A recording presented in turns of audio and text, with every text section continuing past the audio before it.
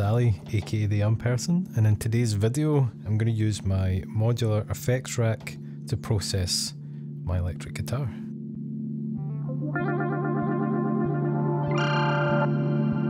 I've been playing guitar for a very long time, and I've always been drawn towards guitar pedals, especially kind of crazy guitar pedals, and also having a pedal board which is quite big and complicated. And that's probably what's led me towards having an effects rack in the Eurorack world. And so the plan today is to just try and come out with some some nice modular and guitar ideas and create some some nice cool sounds.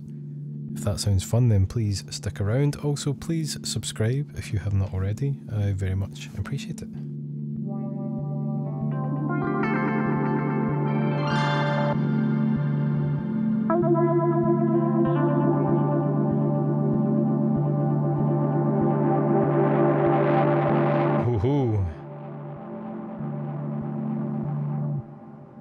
Let's check it out. So the first idea that I would like to explore is sound on sound, which is a kind of delay based looping where you can sort of infinitely layer sounds on top of each other. And this is something I did a lot when I was learning guitar because it allowed you to practice your soloing and your scales, but also it was a great way to very quickly try out ideas and sort of multi-track compositions. So to achieve this, I'm going to use the Nautilus, which is being clocked by PAMS and has the feedback all the way up at infinity. And that means if I start playing notes, it'll kind of loop those notes, but keep the level sitting at a nice steady level. So let's try that out.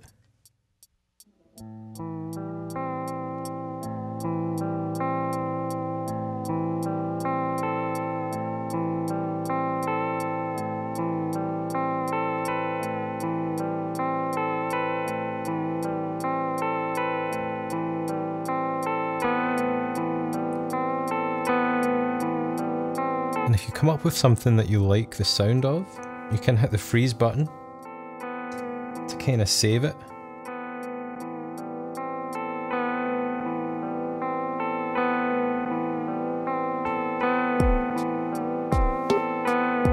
And that allows you to then play over the top. And because I have the Z5000 delay or multi-effects before the Nautilus in the chain, it means I can add some delay to my signal.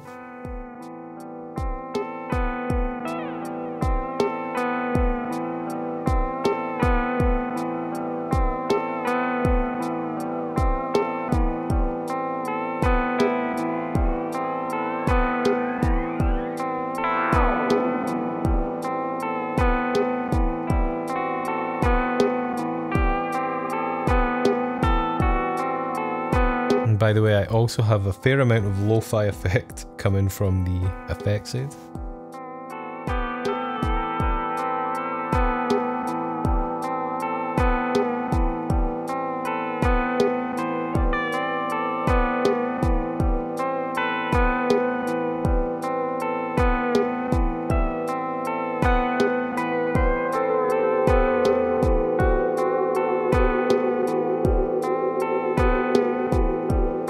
Something else that I thought would be a fun idea, which would be a lot more difficult to achieve using guitar pedals, is then pitching this entire composition down, which I'm going to do using the data bender.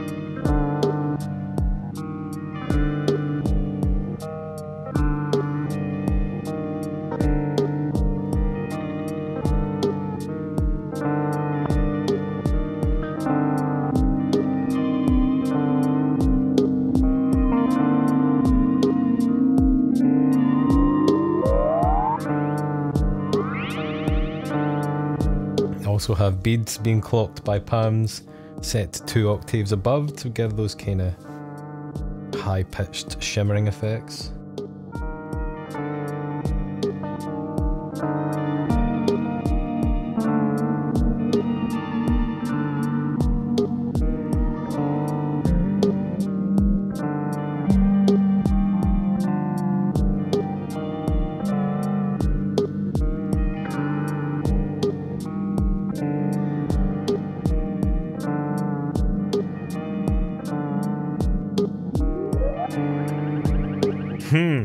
I love that. Let's bring it back to normal.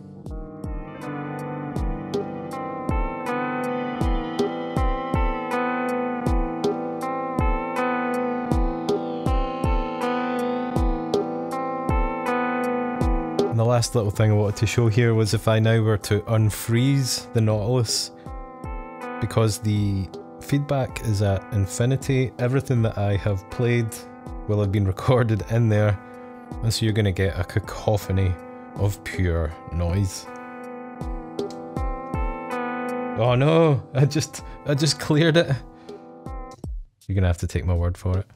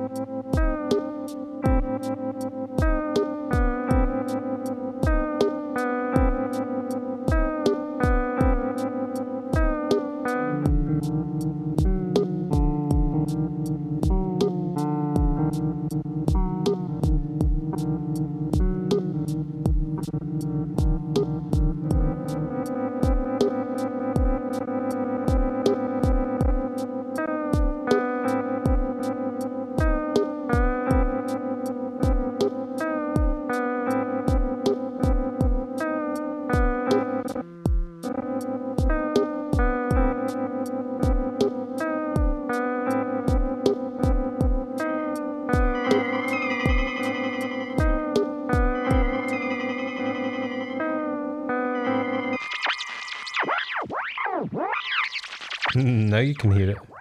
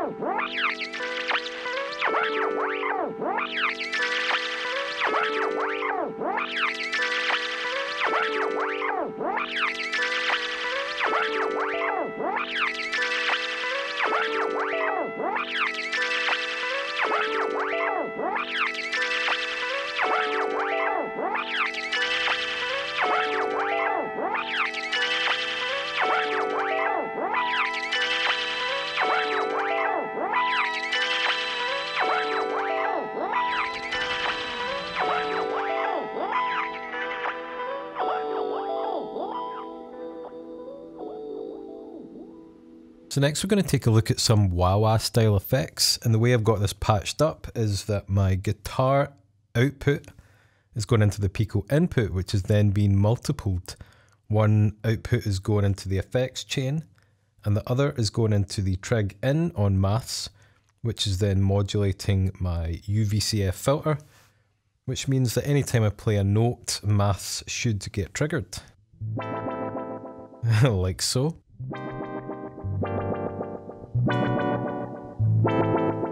It's kind of like an auto wah.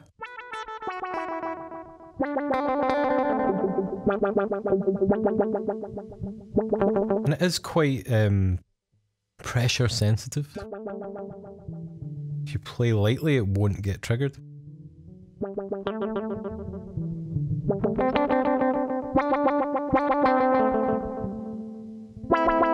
But we could also have uh, the maths channel cycling instead.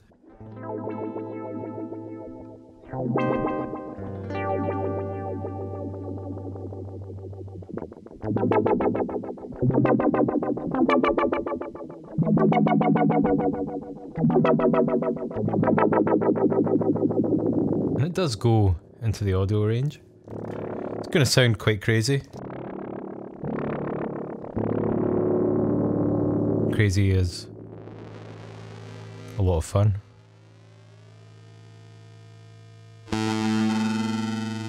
It actually starts kind of distorting or crushing or something when it gets to this kind of this audio rate level.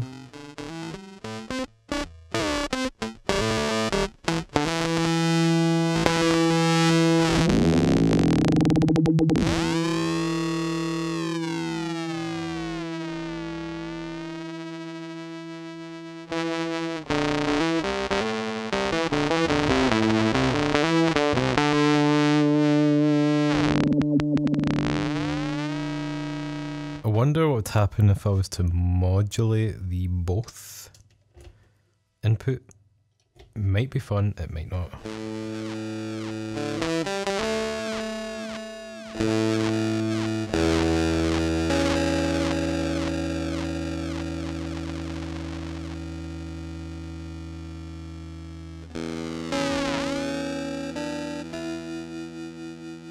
Kind of ring mod style.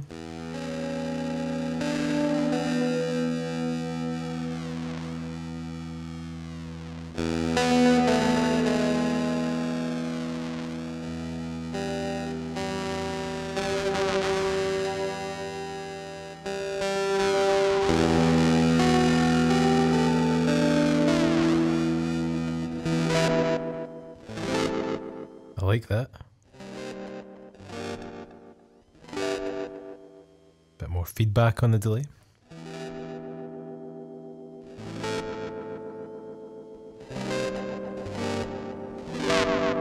It's got that bit crush sound that I like.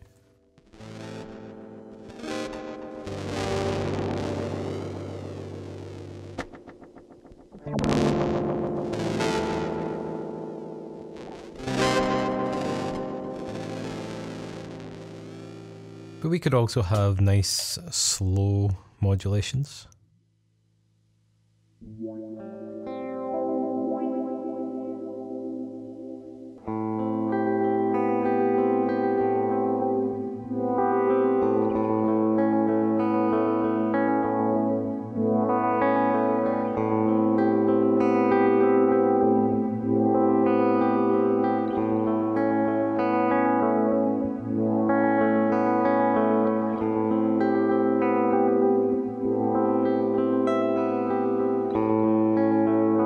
Bonus points if you can name the track.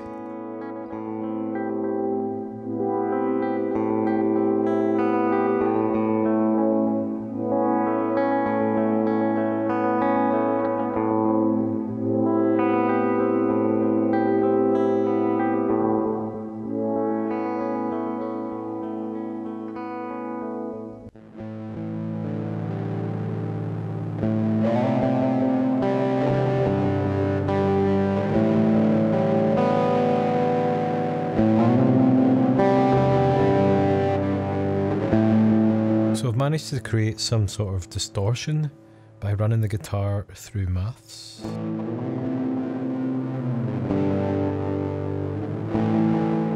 I found that you can really change the character of the distortion by moving the rise and fall amounts.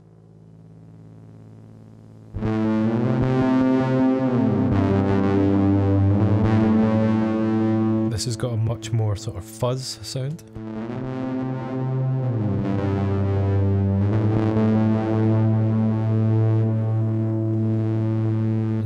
Get some octave stuff happening.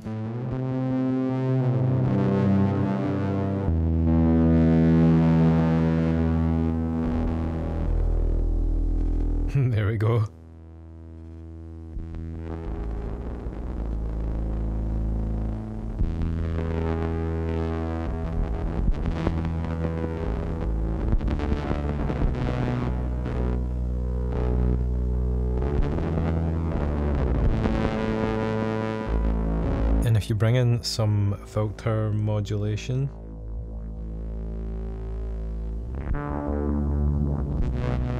and you kind of have a, a, a guitar synth.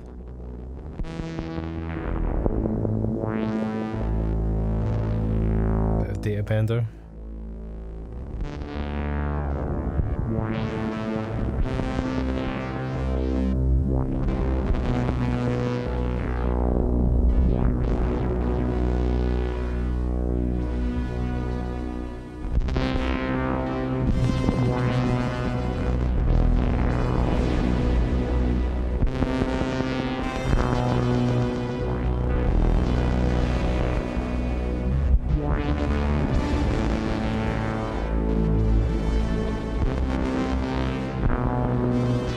Dark sounding.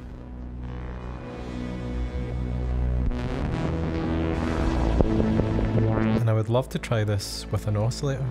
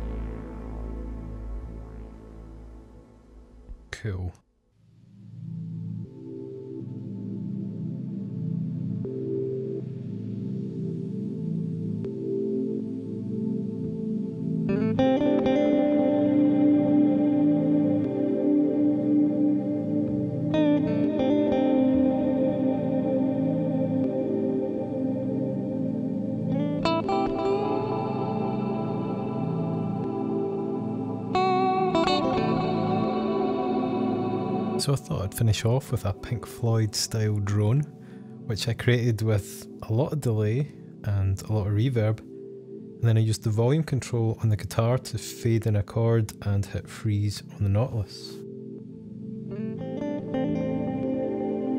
And that allows me to play over the top.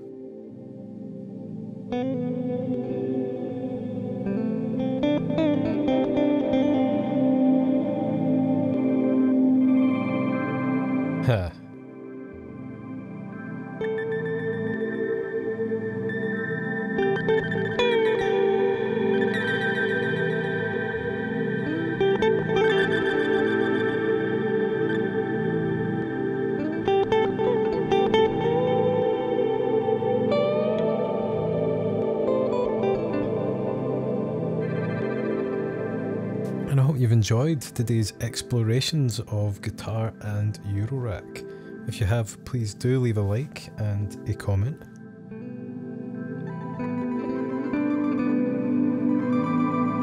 And I have a Patreon account where I upload extra videos and sample packs. And there are some affiliate links down below. If you're going to treat yourself to some lovely new gear, and you use one of those links, then I get a little cut from the sale at no expense to yourself.